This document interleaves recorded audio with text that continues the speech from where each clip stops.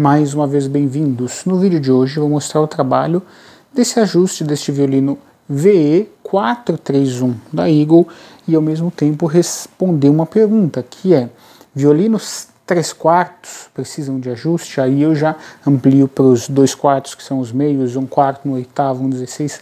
Sim, todos precisam de ajuste. Ah, mas ajusta tudo, a criança perde rápido. É, roupa também é assim, né? Tudo a criança perde rápido. O instrumento também, criança que cresce muito.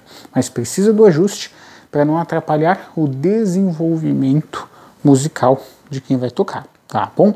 Então, deixa eu mostrar o ajuste que foi feito. Como vocês sabem, ajuste das cravelhas, porque elas vêm desajustadas, ajuste da pestana, que estava muito alta. Imagina uma criança, a dificuldade.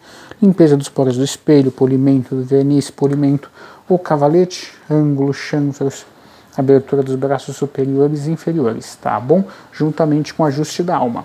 E aqui só toma aqueles três cuidados de esperar de 30 a 90 dias para ele abrir o som, mas deve ser tocado nesse momento. Enquanto isso, tá bom?